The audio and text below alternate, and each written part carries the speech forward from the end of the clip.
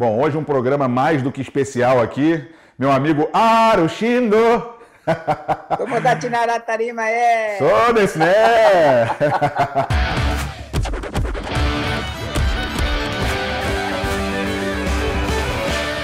Pô, tava me devendo, hein, cara? Só assim, né? Só, só por câmera mesmo pra gente fazer.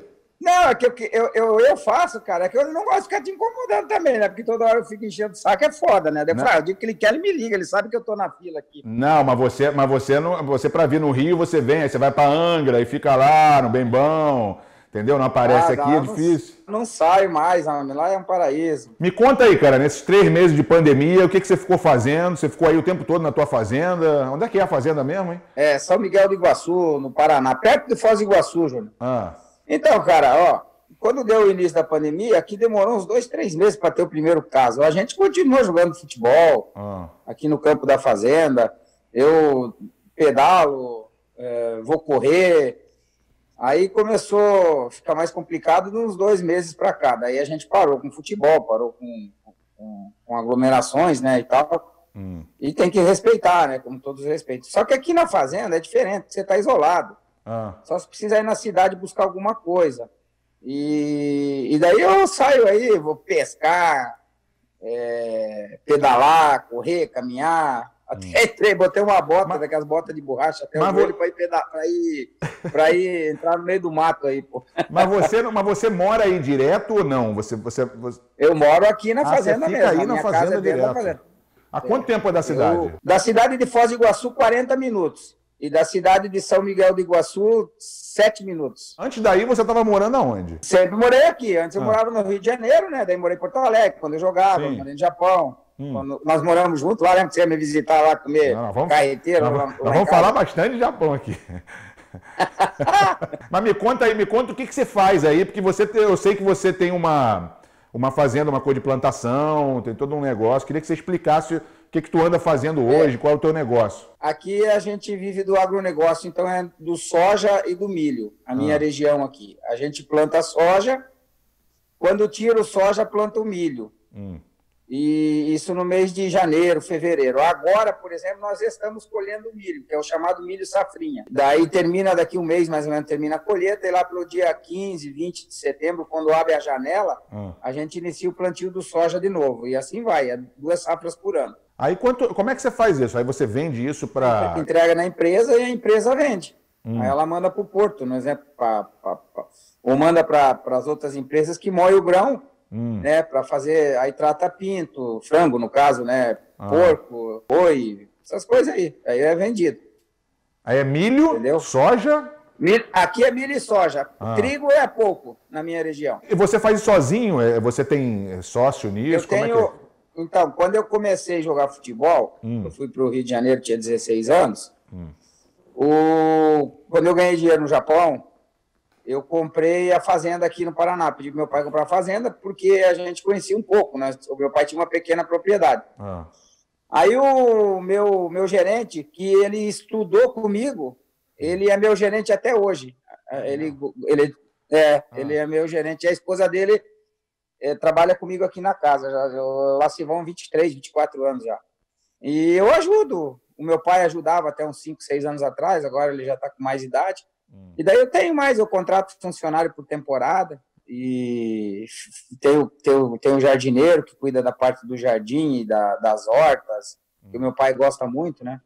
Aí tem criação de ovelha, criação de galinha, mas só para o próprio consumo, entendeu? Nada para para venda. Mas, pô, é, então já são, é... cara, quantos anos agora disso? Aqui já vai para 24 anos aqui. Caramba. E eu comprei uma outra fazenda lá no, lá no Goiás, já fazem quatro anos. Aquela a gente está abrindo, eu e meus dois primos. Ah. Eu fiquei com 50% da fazenda. Lá é maior, só que lá a gente está abrindo, já abrimos 400 hectares, falta abrir mais 400 e está produzindo é. soja. Já estamos no no terceiro ano de plantio de soja. Que maneiro. Tem influência do nosso amigo Matuto, Carlos Alberto Santos, lá em Goiás, não, né? Não tem, mas ele me ligou esses dias, ele falou, ô caboclo! Ô caboclo, ô Matuto! É, é verdade, tu comprou no Goiás? Eu falei, foi, acabou. Lá na região de posse. Ah, meu Deus. Carlos Alberto é uma figura, né, cara? É, ele arrendou a dele, eu acho. Eu não sei. Só se agora ele tá tocando. Ele sempre investiu muito nesse negócio também, de, de, né, de fazenda. É, sabe o que, que é, Júnior? Que a gente. Eu vim de berço já, né? Por causa do meu pai, tinha uma pequena propriedade, como eu te falei. Daí eu investi meu dinheiro em lavoura, porque os amigos do meu pai também falava, ó, o Alcindo tá ganhando dinheiro dele, compra terra. A terra, é. ninguém, tu não perde e tal. Aí fui, fui comprando e ia juntando, e daí eu depois acabei comprando um pedaço maior num lugar só, né? Isso é bom, porque é, a gente sempre fala, cara, que jogador de futebol, às vezes, a carreira é muito curta, né? Então, assim, ele tem que investir em alguma coisa. Eu lembro que na época, mesmo que vocês estavam no Kashima, naquela época do, do Yomiuri, do Verde Kawasaki, o Bismarck jogava lá, eu sempre ouvia dizer que o Bismarck, por exemplo, já, já investia em, em loja aqui no Rio, em Niterói, não sei, alguma coisa assim, ele já tinha negócio. Então isso é bacana quando vocês, ainda novos, já se preocupam com isso, porque, cara, isso é o futuro, né, cara? A gente não, não dura muito, depois de 30 e poucos anos, no máximo 40, 40 e pouco, depois tem que fazer outra coisa, né, cara? É, o que acontece, Júnior, quando você está jogando bola, que você alcança a fama como eu alcancei, entra assim, ó. É e sai assim. É isso mesmo. Quando a gente para de jogar, entra assim e sai desse jeito é, aqui. É então, mesmo. se você não tem um controle, você acaba. Eu, graças ao meu pai, né, a minha, minha irmã, eu só tenho uma irmã também, e a minha família, a gente conseguiu, né, e eu consegui manter as coisas. Mas mesmo assim, o agronegócio ele não é fácil. Agora tem, nós pegamos uns anos muito ruins. Agora não, agora nós estamos, estamos pegando uns anos muito bons. Não tem que reclamar, não. Depende muito da safra, né? Depende do tempo, depende de um monte de coisa também, né? É, depende muito do tempo. Só que hoje está um pouco igual aos Estados Unidos, né? Porque os Estados Unidos hoje ele te protege né, com, a, com a lavoura, então aqui no Brasil, muitos casos eles estão protegendo. Por exemplo, é, antigamente você fazia o plantio, por exemplo, um alqueire, 50 hum. sacas de soja. Hum. Aí mal e mal dava para pagar as contas e ainda faltava tinha que puxar do bolso. Hoje não, hoje é 100 sacas, é o dobro. Então hoje tu consegue respirar. Se tu não ah. colher nada, tu consegue pagar as contas. Tem seguro para a lavoura hoje, né? Ah. Por exemplo, se der vendaval, se não produz direito, o seguro cobre até, até tanto, até X. Sei. Né? Você chegou então, a. Não é isso que a gente quer. A gente quer colher bem sempre. Claro, mas você chegou, você chegou a investir alguma coisa parecida quando estava no Japão em alguma coisa? Não, só no Brasil mesmo. Não, não. Eu só investi em lavoura e ah. comprei a, a, casa no Rio, né? E a casa de Angra e investi na lavoura. Eu tô te perguntando isso porque eu tô perguntando isso porque é o seguinte, cara. Você falou do Japão, falou da fama também. Eu lembro uma vez que você teve uma carreira aqui no Brasil, tu jogou no Flamengo naquela época do meu pai, no, no, no teu início, depois no Grêmio, é, quando você voltou do Japão no Corinthians e tal. E muita gente fala assim, pô, por que que por que, que, ele não conseguiu atingir aqui aquele sucesso tão grande igual foi no Japão? E eu sempre digo que, é, que como se no Japão fosse fácil, né? Porque tantos jogadores consagrados foram para o Japão e não conseguiram jogar lá. E, e, eu lembro uma vez que a gente estava no carnaval na Sapucaí, teve um cara até que, que passou assim e falou assim: Ai, Alcindo, aí falou alguma merda para você, e você falou assim: É, mas eu tô milionário, mas eu tô rico. já tava meio. Ah, já tinha tomado uns goró, e aí o cara tava. O cara estava enchendo o saco. Eu sempre defendi, Júnior, essa parte do Japão, porque assim, é até bom citar, por, por exemplo, teu pai. Ah. Eu falo para todo mundo, teu pai foi pro Japão com 38 anos, só que ele fez diferença lá com a idade que ele estava. É, e é ele se cuidava, é. ele mantinha o peso dele, ah. é, treinava o que precisava. Uma pena que não conseguia fazer 100%. Até um dia conversando com seu pai, seu pai mesmo me falou é, Alcindo, aproveita isso aqui, aproveita ah.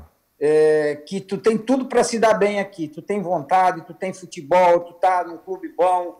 Eu tô aqui, tô em final de carreira. Se eu tivesse 10 anos menos, queria meter dois gols pro jogo. Ele falou ah. mim. Já estava metendo assim, dois gols pro jogo sem estar tá, sem tá novo, né? É, pô, ele falava, e daí, assim, é uma inspiração, né? E ele me pegava para dar treino de finalização, para bater falta. Tanto é que tu viu, fiz um monte de gol de falta. Foi. Fazia uns gols meio parecidos com o do teu pai, lá não igual, né? Mas é. meio parecido. Mas fez, pô. Porque ele dava, ele, ele tirou um pouco do, do, da folga dele de, de lazer lá no Japão e me pegava para dar treino. Não só eu, outros brasileiros também. Então, tudo isso, eu, por isso que eu sempre agradeci teu pai. E quando eu falo, o pessoal, ah, puxa o saco do Zico. Falei, puxo nada, é, fez pouco por mim ainda. Eu, eu, eu faço pouco por ele ainda por tudo que ele fez, ele me lembrar de mim, né, me levar para o Japão. É. E, e, e, deu tudo certo, né? A parceria que deu certo, assim. Só não, tem agradecer. Mas você mesmo, no, cara, você depois saiu do Flamengo, já no Grêmio, você já fez gol pra cacete lá no Grêmio, que eu lembro. Tanto é que foi por causa disso que você foi pro Kashima. Foi, foi com o falecido Valdir Espinosa. Pô, nosso, nosso amigo, irmão, que nosso nos deixou amigo, esse é, ano. Valdir Espinosa. Mas tu horroroso. sabe quando saí do Flamengo, Júnior, era ponta. Aí quando saí do Flamengo, fui pro Grêmio, o Espinosa falou assim: ah, tu joga na ponta porque tu quer, tá na hora de mudar, vai pro meio e vai fazer gol. Foi é ali mesmo? que começou. Daí, quando eu fui pro Caximba, o teu pai falou assim: não, eu quero você de atacante, chega de negócio de ponta. Hum. Cai pelos lados é uma coisa, jogar. Foi aonde eu fui.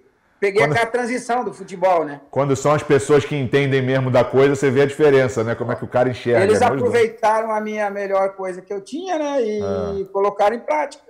Aí lembra um dia, Júnior, que até o teu teu compadre Fagner, que tu entrevistou esses dias aí, o, o, ah. o Raimundão, ah. ele, ele foi lá no Japão, lembra que ele gravou o disco, nós estávamos os brasileiros foi. e tal. Aí tava o Careca, o Careca centroavante, e o Careca olhou para mim e falou assim, quer ganhar dinheiro, faz gol. Se não faz gol, não tem Foi logo ele. Esse, esse fazia gol, que esse cara, o Careca para mim é o, acho que é o, é o, meu centroavante predileto, assim. Ele, ele e o Van Basten para mim foram os dois melhores centroavantes, que, os que eu mais gostava, assim, né, cara? Que o cara fazia gol de tudo que é maneiro.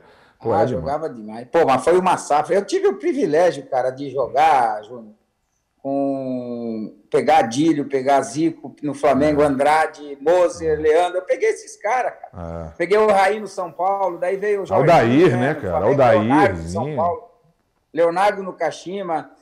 Pô, eu fui, eu fui um cara Bebeto, eu fui um ah. cara Zinho, Ailton, eu fui um ah. cara Papai do céu me deu muita oportunidade, cara. Eu tive oportunidade de jogar com essas feras todas. Não, e tu tá falando do careca, cara, assim, não, você não precisa, mesmo que, ah, é o Japão, ah, não é igual ao Brasil, cara, quem entende de futebol, a gente quando tava no Japão, você chegou numa certa hora que o teu nível, o teu nível, é, a tua parte física, o teu arranque, o jeito de cruzar, de chutar e tal, cara, você tava num nível muito alto.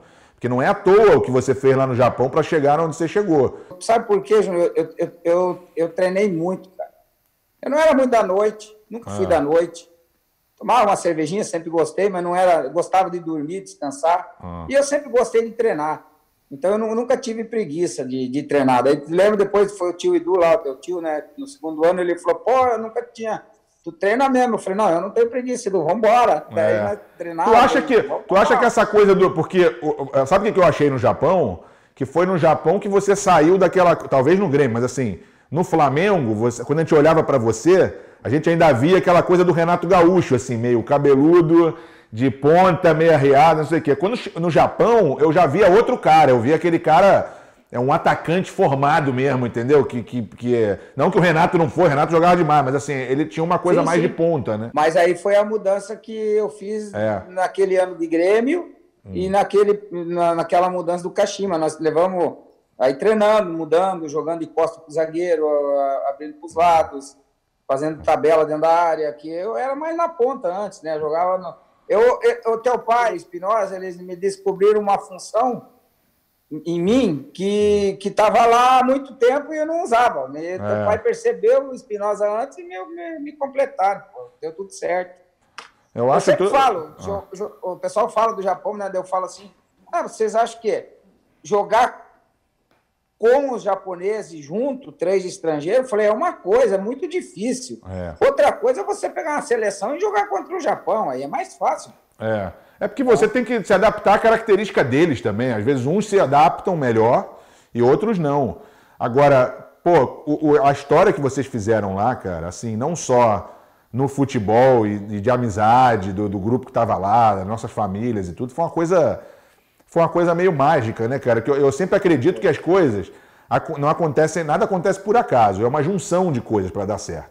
Meu pai era uma lenda do futebol que chegou numa hora que tinha que profissionalizar como você falou, ele com 40 anos, cara, já as pessoas não sabiam quem ele era. Ele andava de metrô lá, a gente andava de metrô ninguém sabia. E de repente, cara, eu tava na escola, depois daquele jogo com o Nagoya, que você fez dois e ele fez três.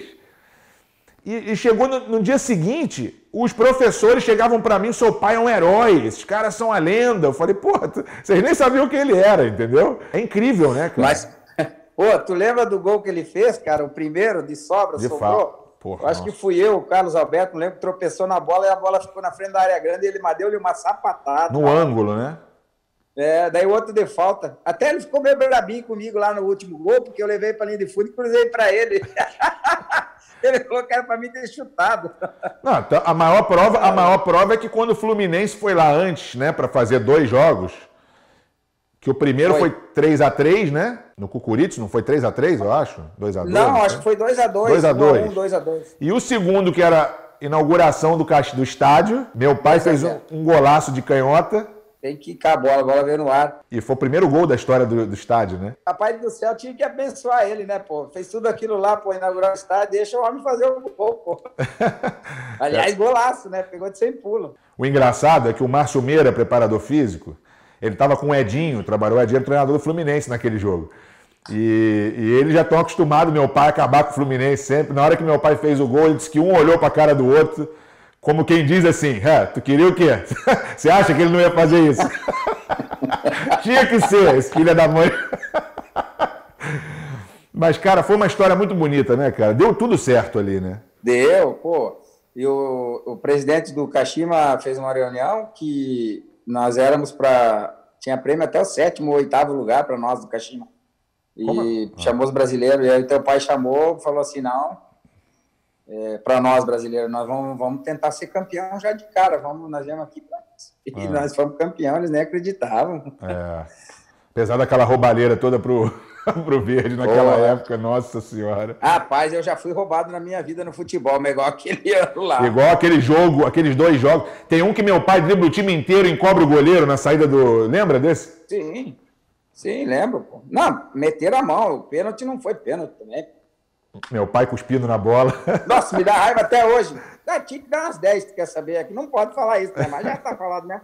Pô, brincadeira. O demais, cara, é que as pessoas não sabem. Eu queria que você explicasse como é que foi para você. Porque é o seguinte. A gente, eu, eu, você fez um comercial de peruca lá, que você ganhou uma fortuna fazendo um comercial de peruca por causa do teu cabelo, da tua careca que fez uma fama danada no Japão.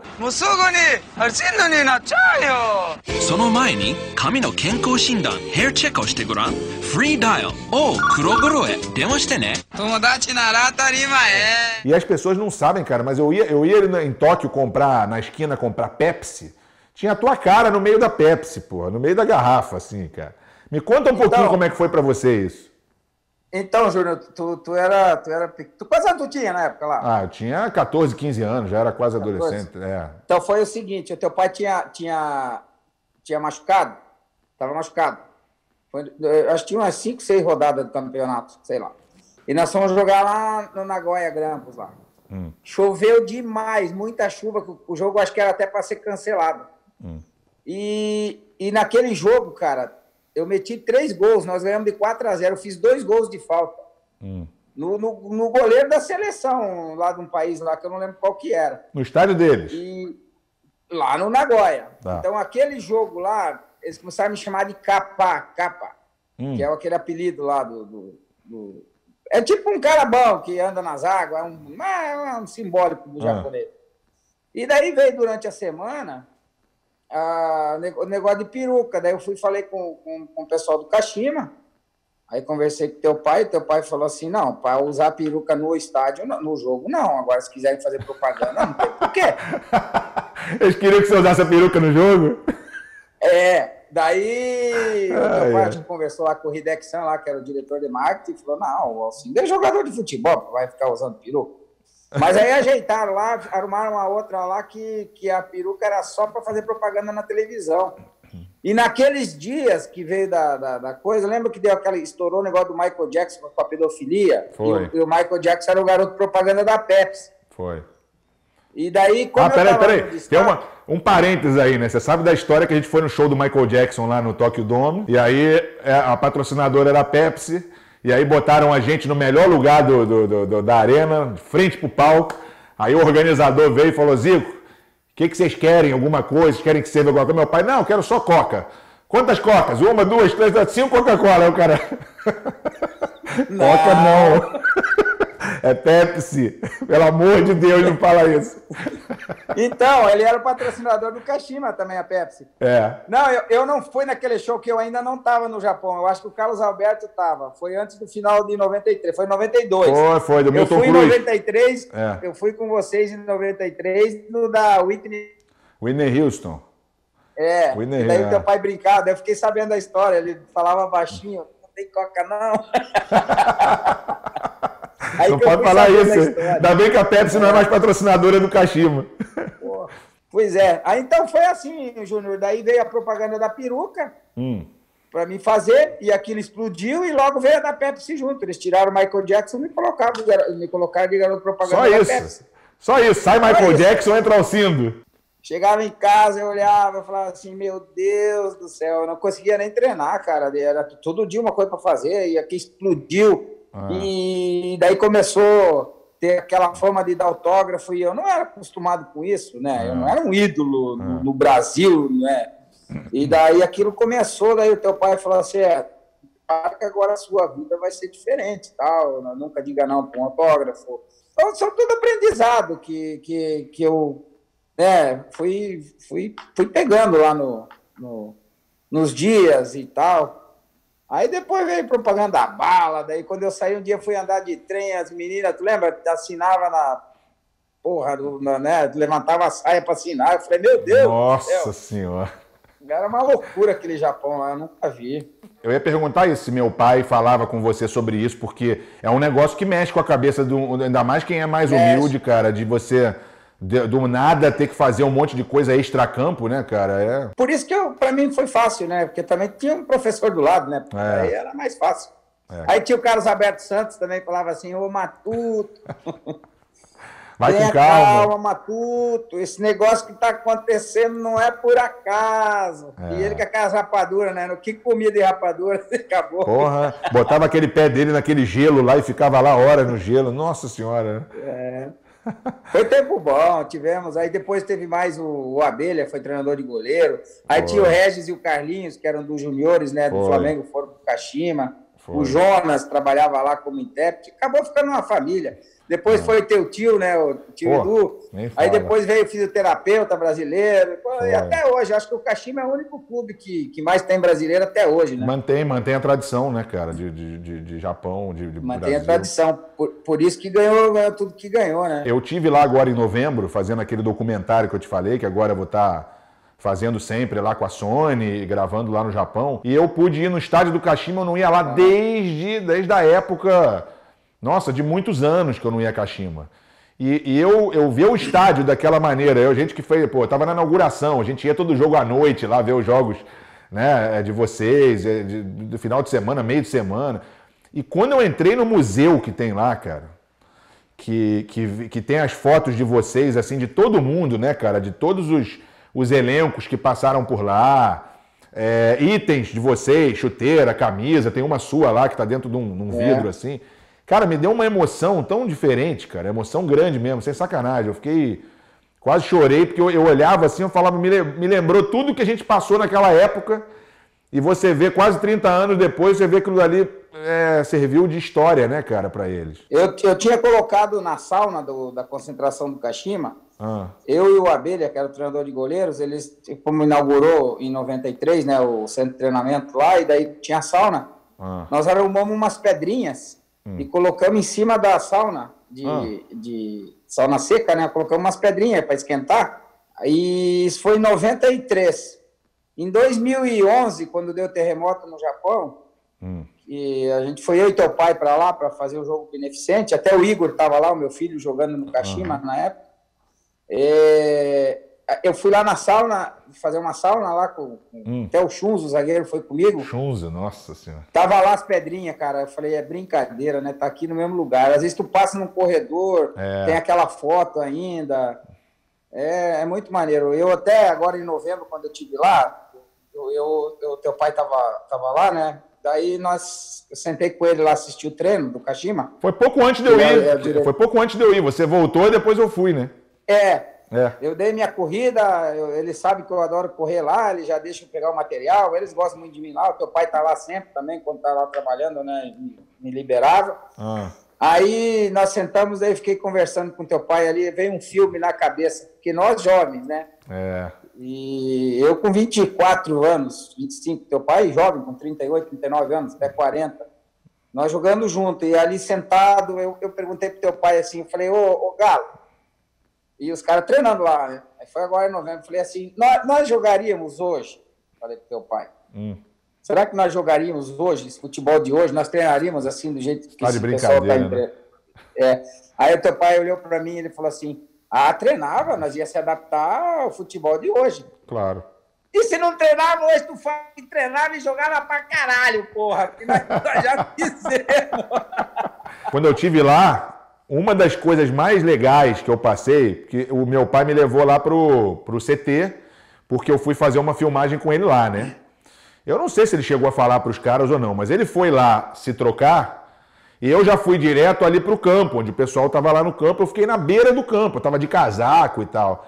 Cara, lá do campo, o Kurosaki e o, e o Satoshi me viram e vieram correndo, cara. E o Kurosaki, os caras me abra... o Satoshi me abraçava, falando: "Você tá gordinho?" Eu falei: "Filha da puta".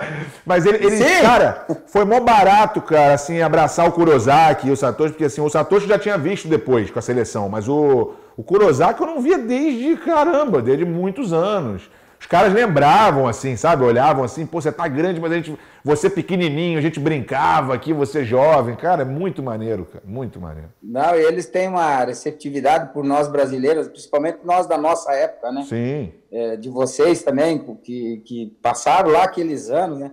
É. E o Satoshi, a primeira português foi filha da puta você, né? Filha da puta, né? Ele é demais. Satoshi, quem sabe, preparador físico lá do Kashima, depois Hoje foi da ele tá bem no seleção. português, 30 anos depois, tá falando... é, ele foi preparador físico. Trabalhou na seleção com seu Nasceu pai. com meu pai, é, pois é. é. Com E Cantarelli e tudo. Por isso que eu, eu, eu- ele eu vi mais, mas assim, mesmo assim, cara, você entrar lá, ver a- o CT, ver a loja.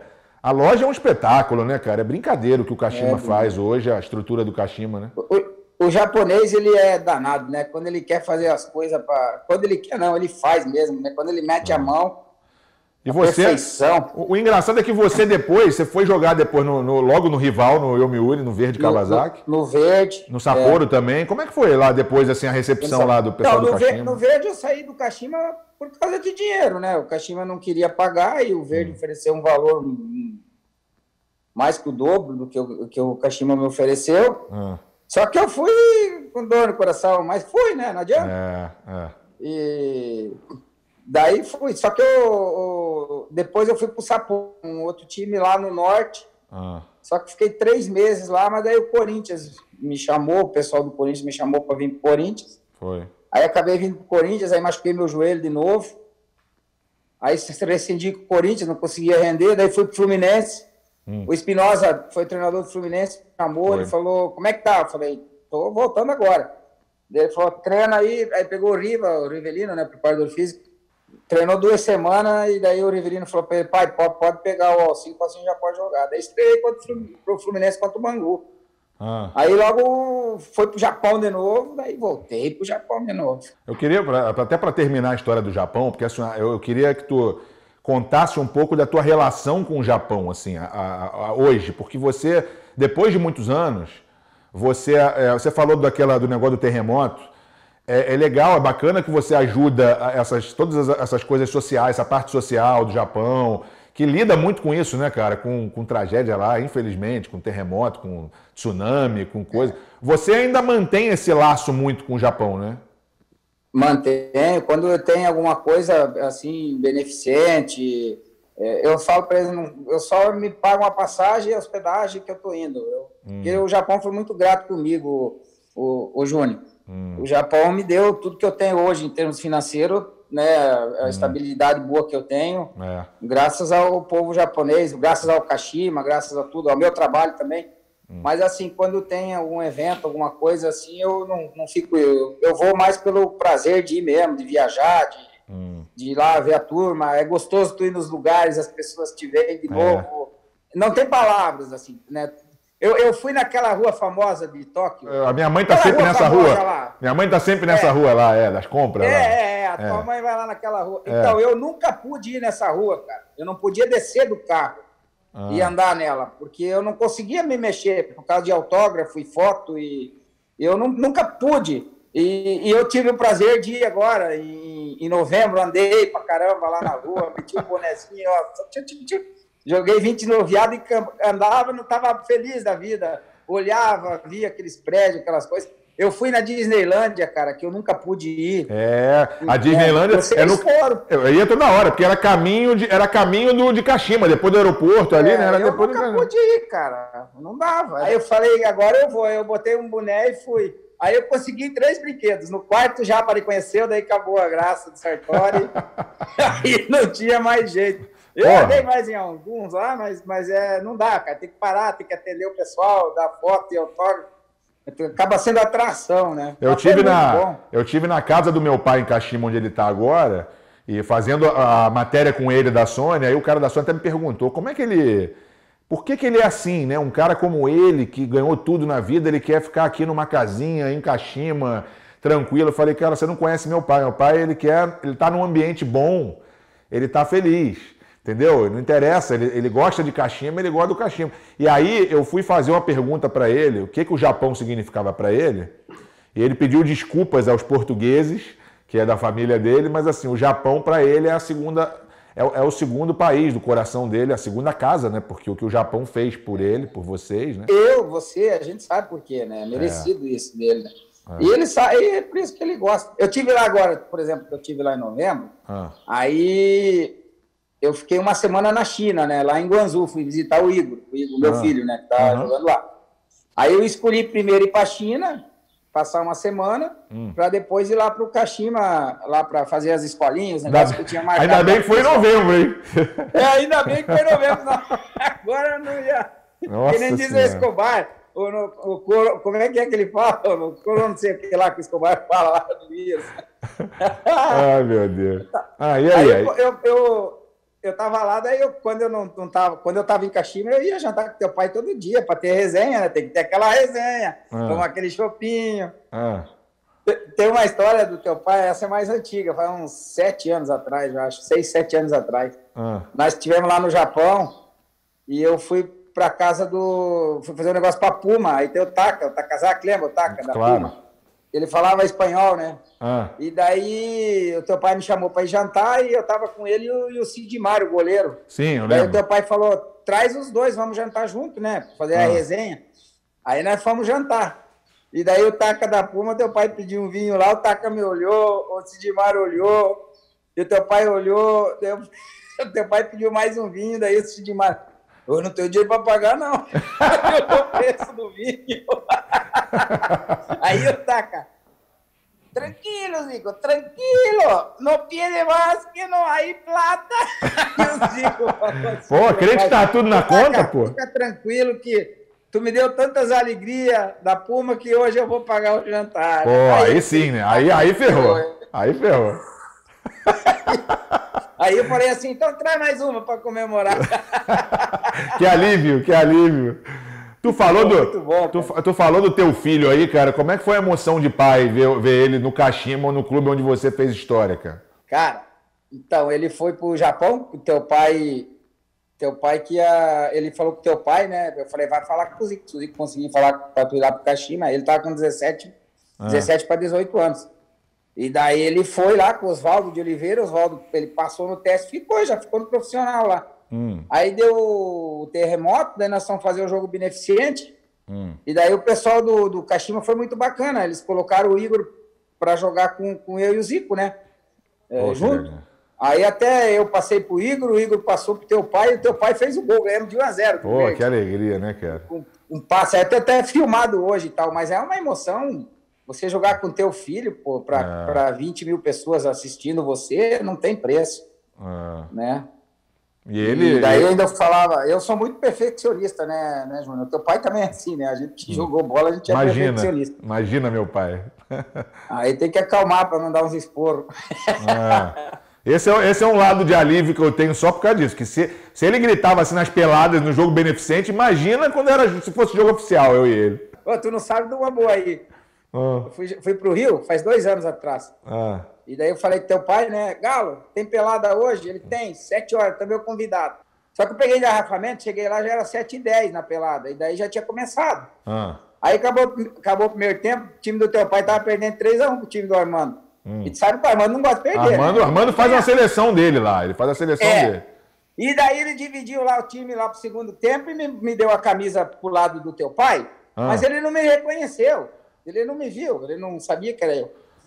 E daí começou a pelar. Que azar do Armando. Bom, ganhamos de 7 a 5. Teu É. pai fez 4, eu fiz 3. Aí acabou o jogo, teu pai. Tá vendo? Quis armar, se lascou. Nem viu que era o Alcindo. Aí ele olhou. Porra, eu vi que esse careca corria pra caraca. Porra, brincadeira o cara não te reconhecer com essa careca aí. É brincadeira, porra, não, não tem outro igual assim. Ele não me conheceu, cara. Ficou louco, ficou louco. Perdeu a pelada. É por isso que você, é por isso que você me enche o saco quando é pra vir no jogo das estrelas, pra você jogar no lado dele, né? Que você quer ficar Esse É. ano tu vai me botar aqui, ó. Tu tá comprometido. É do lado do papai. Se, de- se Deus, você tá dizendo que esse ano vai ter, se Deus quiser, né, cara? A gente tá assim aflito com esse negócio que a gente não sabe ainda o que vai eu acontecer. acredito muito que daqui para até mais uns meses as coisas vão melhorar, né? Tomara, né? E tá, é até complicado isso aí, mas vamos lá. Também se não der esse final de ano, dá no outro, mas acho que vai dar esse sim. É. Eu acredito que logo, logo vai voltar. Eu ia começar a falar rapidinho do Flamengo agora, até porque você, você sempre foi flamenguista, né, cara? Independente de qualquer coisa, você sempre foi flamenguista. O meu pai colocou o nome Alcindo por causa do Alcindo do Grêmio, o Dentuço, centroavante de 67, que foi o ano que eu nasci. Ah, Entendeu? Eu nasci em 1960 1967. Aí eu tinha aquela história, né? A gente ouvia os jogos do Flamengo e do Grêmio, aqui era muito Grenal na minha Ah. região. E daí eu, eu vim com o Tarcísio, Tarcísio, depois Sim. Renato Gaúcho, Renato Gaúcho. Aí um dia eles compraram uma televisão ali na, na- lá na cidade, Ah. e daí passou um jogo Flamengo e, e Vasco. Hum. Eu não lembro que jogo, que ano que foi. Eu só sei que o teu pai socou dois logo no Vasco, um, não lembro lá. É Aí normal. depois eu comecei a assistir um jogo, comecei a torcer. Daí eu, eu botava a camisa, eu era o Zico. Eu não queria nem saber, eu era o Zico. eu tava falando do Flamengo, porque você mesmo não tendo feito história assim no Flamengo ali, você ter feito mais no Japão e tal, é, você, você continua um torcedor, está sempre acompanhando e tal. Como é que foi para você nesse ano, nesse último ano que o Flamengo ganhou tudo, vo- voltar a ver o Flamengo ganhar tudo? É, como é que é a sacanagem aí no, na tua cidade, com o pessoal que não é flamenguista? Como é que é? Eu, eu quase infartei, cara, na Libertadores.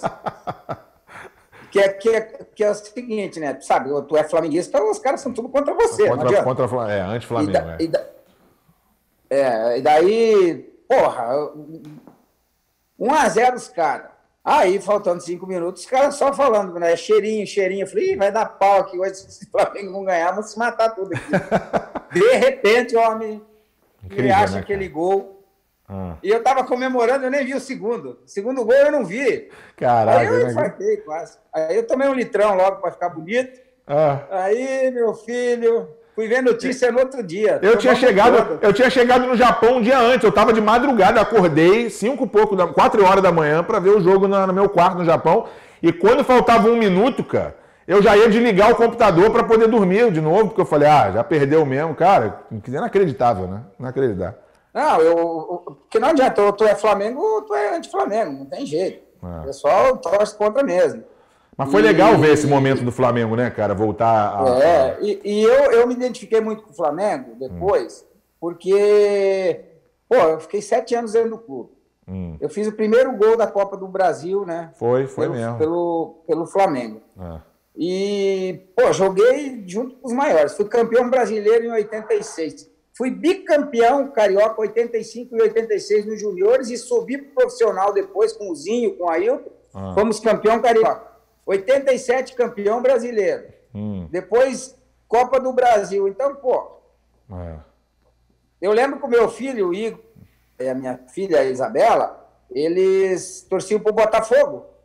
É Por causa mesmo? do vô deles, que é botafoguense. Ah, E daí eu falei para eles assim, ó, eu só posso falar uma coisa para vocês. Eles tinham cada um uns 10, 12 anos aí.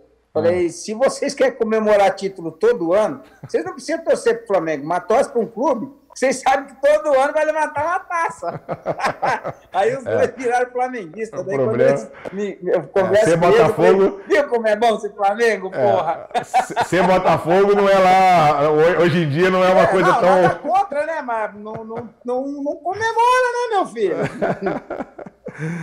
meu irmão, tomara que em breve a gente possa estar junto é, não sei como é que vai ser o jogo das estrelas, mesmo que seja uma coisa virtual, a gente ainda não sabe. Deus queira, né? Deus ajude que a gente possa melhorar e sair dessa.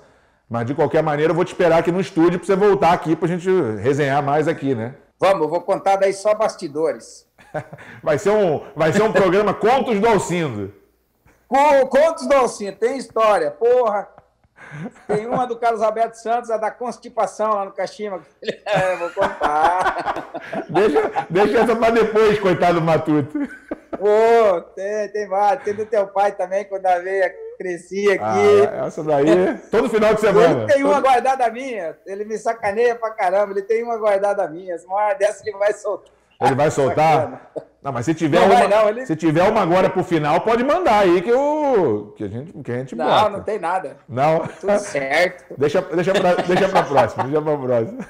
Meu irmão, se cuida, um beijo na família, tudo de bom aí. Beijo também. E te aguardo por aqui, em breve. E eu aguardo você aqui, né? Com a família, tudo vem me visitar, pô. Você já fez o convite para eu ir para aí, para passar umas férias aí? Pode ficar aí, tranquilo, porque aqui não tem... Só tem onça, sucuri... As, crianças vão adorar, né? Meus filhos vão adorar, né? Não, tranquilo. Pô, tu tá 40 minutos da, das cataratas do Iguaçu, pô. Que bacana. O teu pai já falou para mim que a sua mãe não conhece.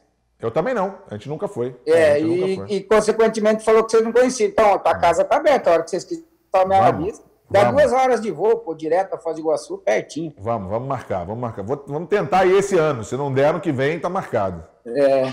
Eu acredito que a partir de outubro as coisas vão se estabilizar, né? Mas é só uma ideia, a gente não sabe, a gente ah. não é mãe de nada, né? não é adivinho. Não, mas os números estão diminuindo, graças a Deus. Eu também eu acho que é um pouco da conscientização das pessoas, né, cara? De se cuidar, de fazer as coisas certas.